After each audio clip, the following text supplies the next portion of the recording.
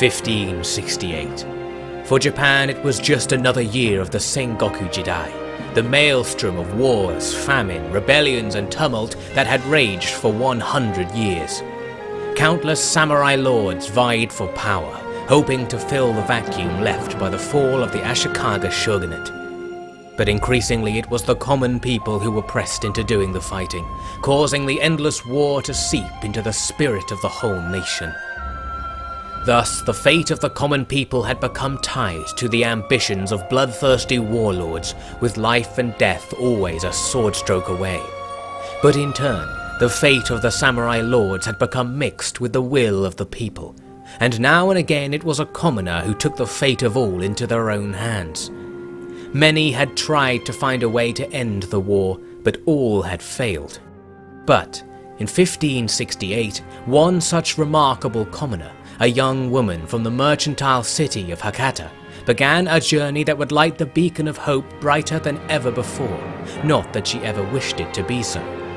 And her story, like so many of the era, began in a haze of smoke with the smell of freshly spilt blood strong in the air.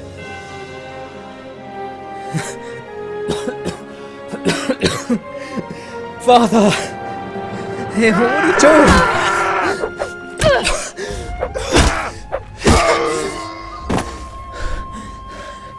Why have you done this? Young Nariko of Hakata had, in the blink of an eye and the lick of a flame, found herself joining the ranks of those orphaned by the chaos. With a mother she never knew, and a father murdered by the as yet unexplained attack, she was alone in a world that preyed on the weak. But luckily for Japan, Nariko was far from weak. She knew that whoever these men were who attacked her father's famous blacksmith, they could very easily be out to kill her too. Not stopping to grieve for her loss, she bartered what tools she had salvaged from the blaze for a horse. She left the town that had been her world before the flames devouring her home of 18 years had even subsided. There was only one other place in all Kyushu, all Japan in fact, where Nariko could find someone she could trust. And even then, the trust was simply blind faith. She departed as fast as she could, riding south, alone and without the delay of baggage but for a sword she barely knew how to use.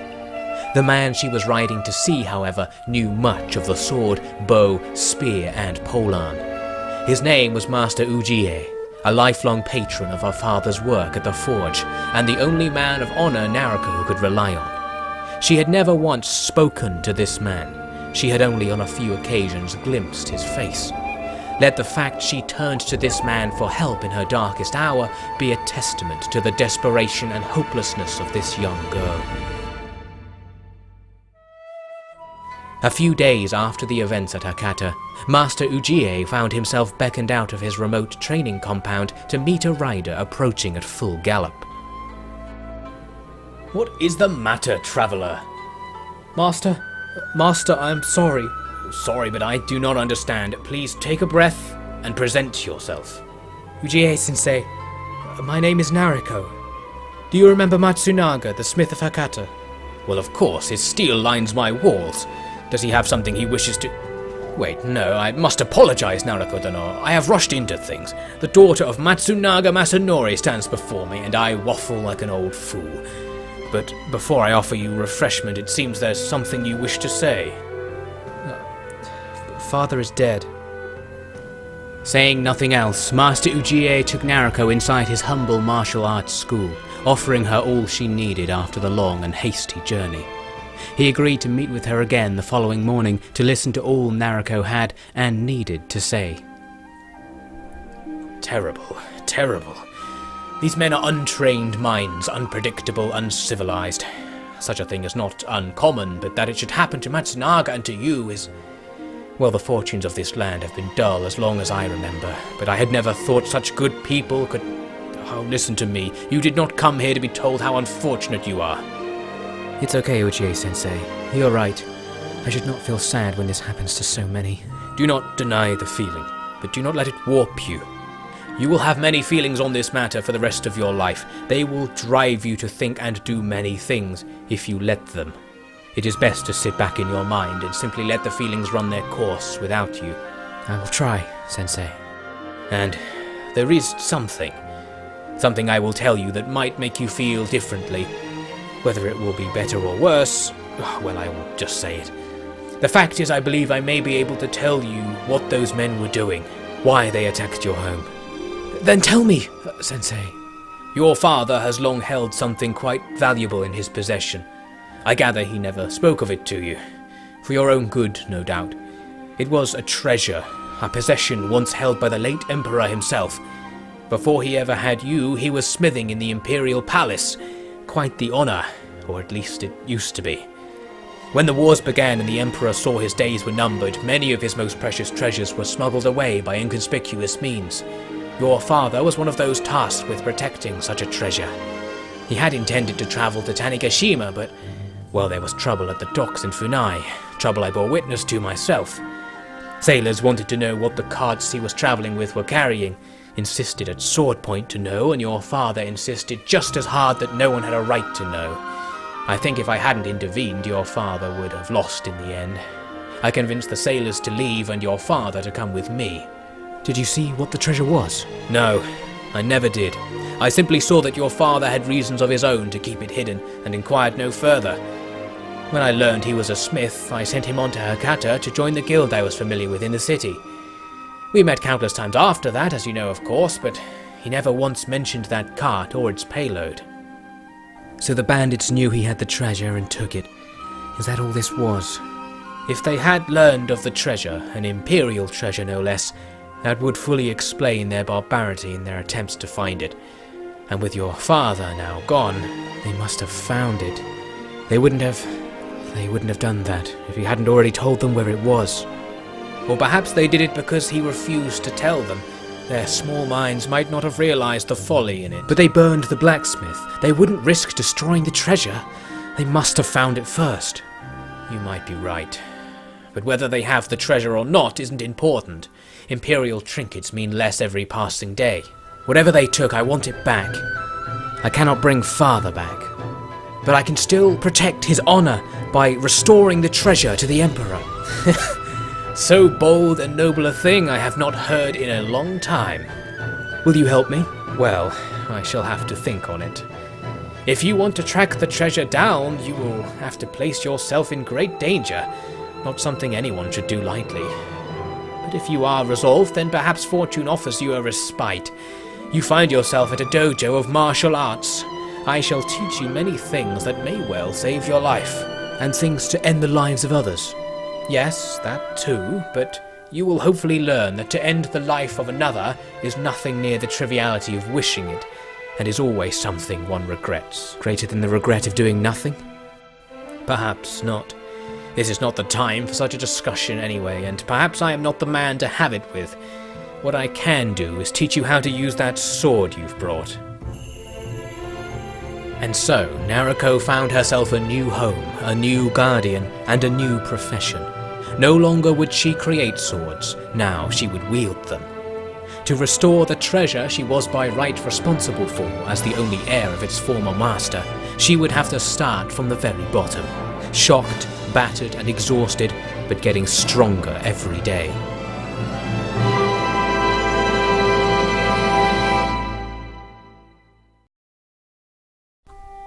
So welcome ladies and gentlemen to Nariko's Treasure, my Mount and Blade Gekokujo mod narrative let's play where I'll be guiding Nariko and you through a journey through ancient Japan. We're starting off that journey here in Master Ujie's training school where, to start the game, we're going to go through a small quest that he has to offer where we have to fight with a series of training opponents in order to build up our basic skills and this will give us enough experience to get up the first couple of levels making the start of the game a tiny bit easier. So basically you have to fight three opponents from each tier that he has to offer. And you can see if you're not familiar with Mount and Blade, that its core combat system is based on a series of four possible attacks up, left, right, and down, and equivalent blocking moves. Although in my case, I've got it on the automatic block direction setting. So if you press block, it will block in the relevant direction to the nearest attack that's coming at you, although you can't block in all directions at once, of course.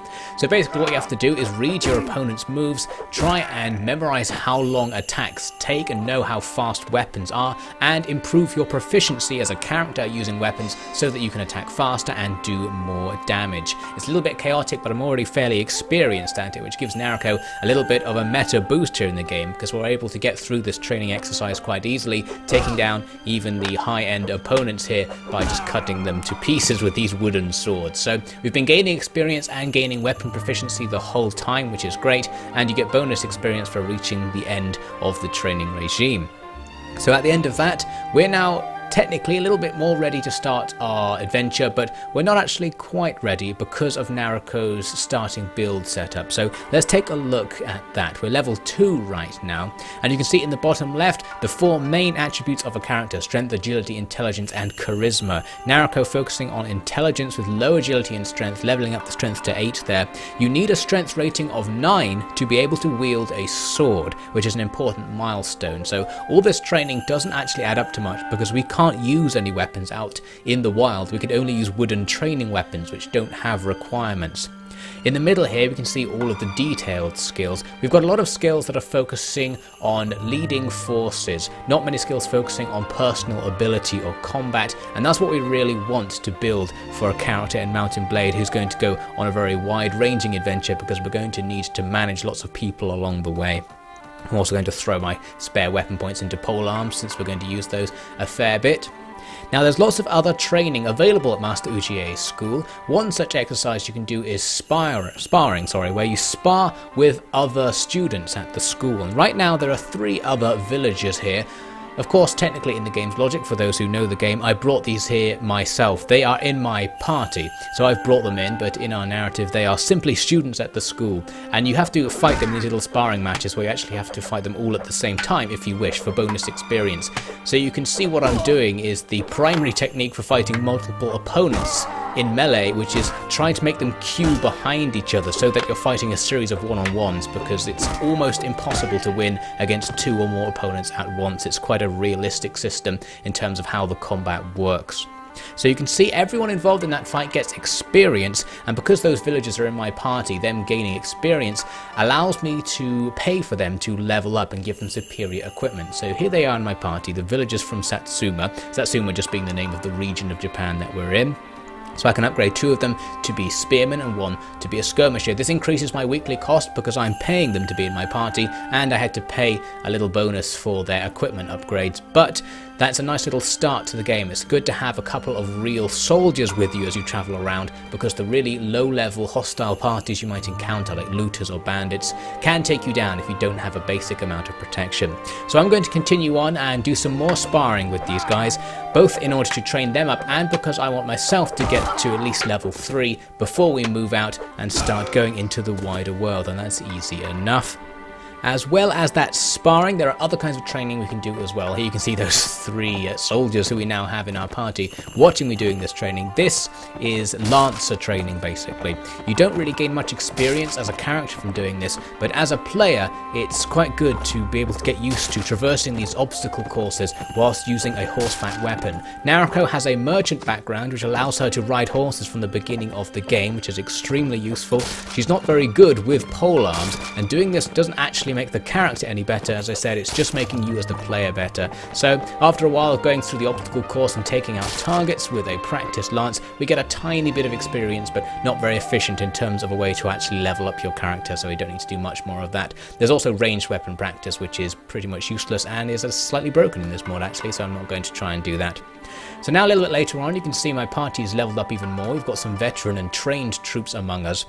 I've achieved level 3 and it's time to apply my level up and I actually put it into charisma thinking I want to level up leadership instead of getting that level 9 strength allowing me to use swords. Now leadership is very useful because it gives you cheaper parties and the ability to have larger parties but I didn't realise how much of a mistake it would be to not actually have the ability to use swords and we're about to find out why. So here we are at night one day sparring a little bit more just training a little bit before we move out and we get this special event. I was scouting outside inside the school and come across these guys hanging around. And we decide to go and find out what's going on. Turns out there's a bit of a problem though. These guys are hostile towards me. It's an agent and some troops, up to no good, no doubt. Some hired troops following the agent, I guess.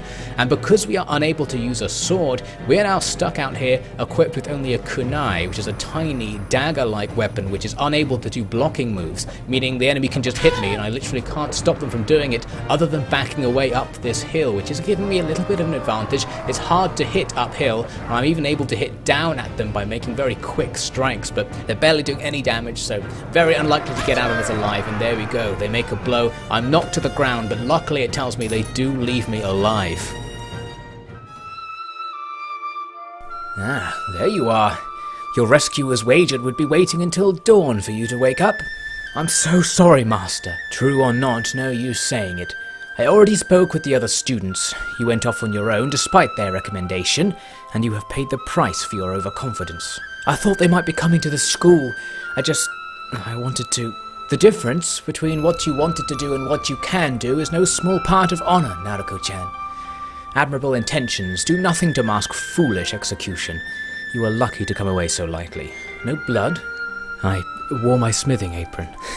Improvisation. At least that is a quality of a fine warrior. Nariko, you would do well to stay and train with us properly. What trail to the bandits would be left after years in the mountains? I need to get out there, and you need to survive. The line that passes through these two rests is thin indeed. I know I cannot stop you leaving, so I'll tell you what I would do in your shoes. Go to Kagoshima. I can tell you the way. The city is vast, safe, but full of travellers who might be able to provide you with clues. At the very least, there's plenty of work there, and Coin will turn your investigation from mud to water. Some of the seasonal students will want to go with you if you can find them work. You are too forgiving, Ujie sensei. No, it is only that you are particularly worthy of forgiveness. Now, enough of this. Let's focus on getting you up and running again. In order to restore health in the game, you have to wait and rest around. Now, by the next morning, we're actually back to full health, which actually makes me think we didn't lose any health from that event, because that seems unusually quick. But oh well, at full health, that means we can continue with our work. So we're going to follow the advice of Master Ujie and head west to Kagoshima, a city nearby. Cities provide all sorts of services, especially to adventurers like us. So we're going to head over there. It's going to take a while to walk, but we are on horseback, which increases the movement speed of the party, even if it has members who aren't on horseback in it because that's just how the game works, so we can get there pretty fast. So when we arrive, we are going to take a walk in the streets to take a look at Kagoshima, the capital of the Shimazu clan's domain, and a very safe part of the map that very rarely sees any war because it's in such a nestled away part of Japan. Now the first thing we need to do in the town is talk to the guildmaster. The guildmaster allows you to take on manual labour jobs or work around town for the guild for which you are paid and your party members will get involved with you and their work will contribute to the amount of money you get as well. So we can make 8 mon per shift, which is 8 hours, which is okay, not very much, but right at the start of the game these scraps of money will come in very handy. The next thing to investigate is the practice arena, the city's arena for warriors who don't have anything to do essentially, where they practice fighting each other using wooden weapons, just like at the training school.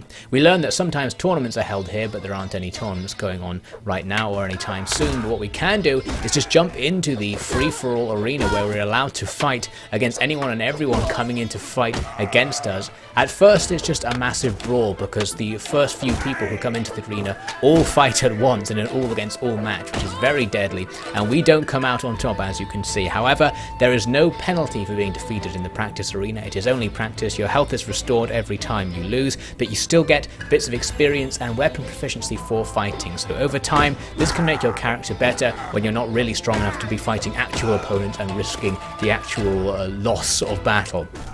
As we're fighting here, you can see there's an opponent beaten count in the top left. Now, as this count goes up, you go over certain tiers, which means at the end of the practice fight, you will get a bonus amount of experience and a cash reward based on what tier you reached. Now, I think the first tier is to beat two opponents, and the next one is to beat six, if I recall correctly, but there's all sorts of levels you can reach, and you get an absolutely massive cash reward if you reach the end of the entire training session, which is very difficult because it gets harder and harder and more and more opponents come at you in the final stages.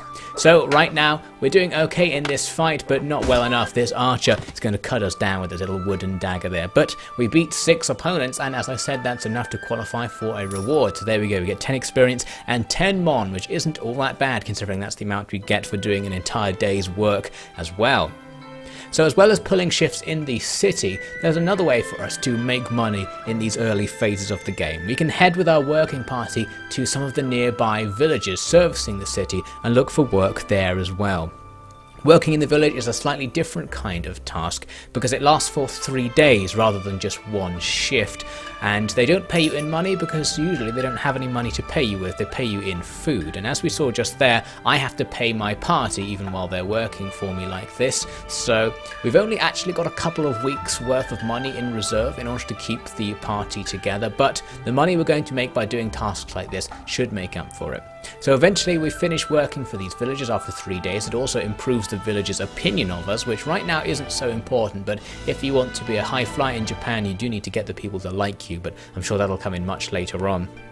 So they gave us some vegetables in reward for doing that work for them, and what we can now do is head over to the city and sell the vegetables for money to convert that into mon. It's worth 28, which is a decent number of shifts in the city. Overall, hard to say which one's more time efficient for making money. Probably just doing shifts of regular work is the best way to do it. So for several days I basically switched between doing shifts of work and going to the arena to train, but one day the shift ended at night and I couldn't go into the arena because it was closed. I decided to try and go to the inn instead, however, we're ambushed by bandits on the way. With only our kunai to defend ourselves, we haven't leveled up yet so we can't use the sword. Luckily the first bandit didn't really attack so we just cut him down with the kunai. Another bandit comes in and swings far too early. His second blow only glances but now we're in really close, can hit fast and hard with the kunai and they're able to bring him down before he can make another attack with his sword. We take 100 mon from the bodies of these bandits, so that's actually quite the haul and a reminder of why we need to keep training. It's her again. She comes in almost every day. She's from a work party. Some of the others were here a few days ago, watching her go at it. They're from Master Ujie. Master who? Ujie, the sword master. Haven't heard of him. And I've met all the masters working for Lord Shimazu. He does his own thing, I believe. But clearly he imparted some skill onto this woman. Hmm, a rough sort of skill. Just enough to make you think you have a chance. Everyone here's killed at least one commoner like that.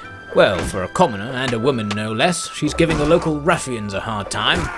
Then make it a fair fight. Give the ruffians the training of a swordmaster as well. You don't like her, I gather? Why should I? No reason, I suppose. But if she comes to the next tournament, well, I'll put a few down on her. The odds will make it worth it. All the training eventually pays off and I reach level 4, so now I can finally get that strength upgrade which now completes my physical training, allowing me to use the katana, one of the most important weapons in the game of course, and probably enough of a decent weapon to last right through the entire campaign. There's no real reason to upgrade strength further, there are better weapons you can get at higher levels, but we don't really necessarily need them. So I put my point into inventory management, a very generic skill that just lets you hold more things as you travel around. And now, with that training over, I decided it's time to actually go out and start our investigation. We're going to try and hunt down the bandits. Somewhere in western Kyushu, there's a bandit lair, and we need to discover its location in order to effectively either raid or steal from it to see if they have Nariko's treasure. On the way, we meet some Ronin who aren't hostile to us, but the deserters that they are running from are hostile, so we need to be careful. Those deserter bands can be very powerful, sometimes even better than bandits because they're usually trained soldiers who are just on the run. We can stick close though to this Shimazu clan army which is moving nearby, and that will scare away any hostile parties from us, allowing us to travel safely.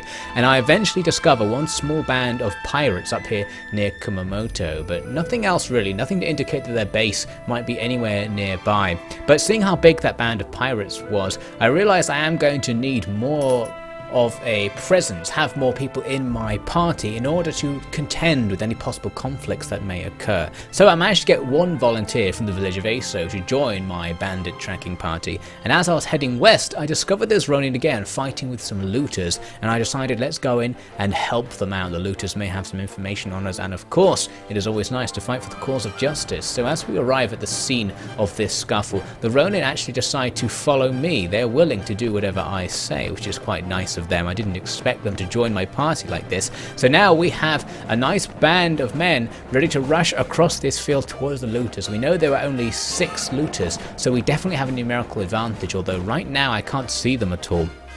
I want the battle to take place away from the river. We don't want to be bogged down uh, by having to fight uphill or anything nearby the river. So I'm going to come up this hill right here, both to give us the high ground and to use as a vantage point, and I actually spot the looters over there. I'm going to order my men to form up in this position and now wait for the looters to arrive because they're running right at us. And it was at this moment that I realised I had forgot to equip the sword. It's still left in the baggage, so I have to rush back to our little baggage stash back here where we first started, where I can pull the sword out of the bag and put it into my arms. So now we are ready to fight and I need to rush back to the site of the battle. Luckily for me, the looters actually followed me when I rode away, so they didn't interfere with my line, and now it's time for a deadly attack. As a cavalry unit effectively, we are able to do massive damage, because the momentum of the horse translates into the momentum of your weapons when you hit enemies, giving you a huge bonus to your attack damage and you'll see in the bottom left if you watch carefully it says speed bonus sometimes when you hit an enemy and that's what that's represented by.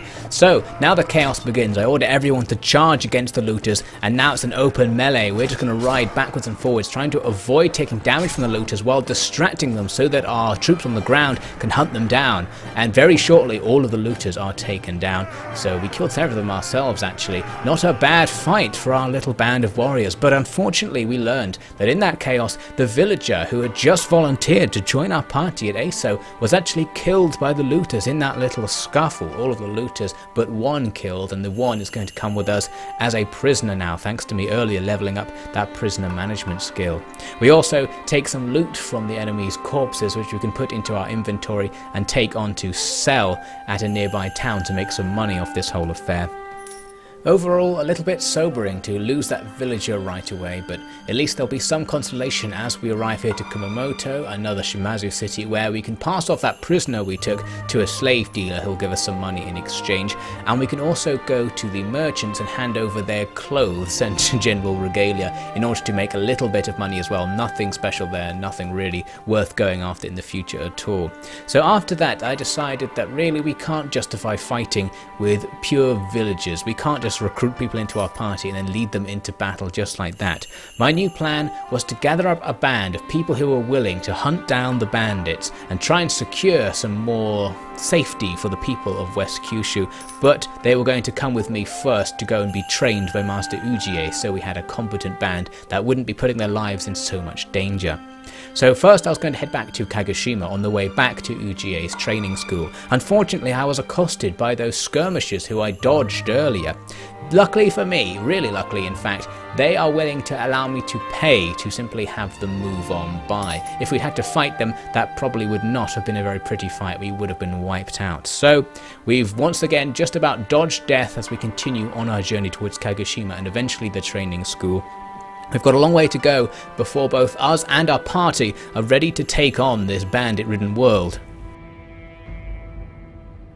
Nariko had tasted the world of the Sengoku Jidai, a world where every moment not spent fighting was spent preparing to fight, a world where a violent death was no more surprising than a misty dawn.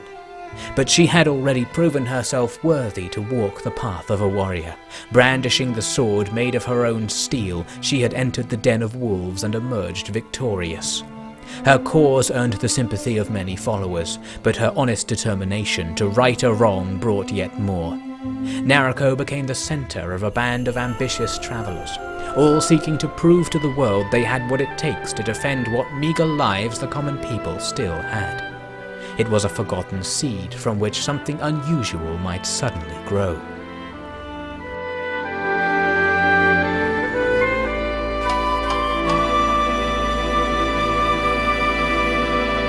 Thank you so much for watching the first episode of Nariko's Treasure. There's plenty more to come, so please subscribe to keep up to date with the future episodes or check the description for a playlist of any episodes that have been released already. Next time, we'll be seeing Nariko meeting her first new traveling companion, who she's willing to actually tell why she's going after the bandits. So I hope you'll join me for that next time on Nariko's Treasure.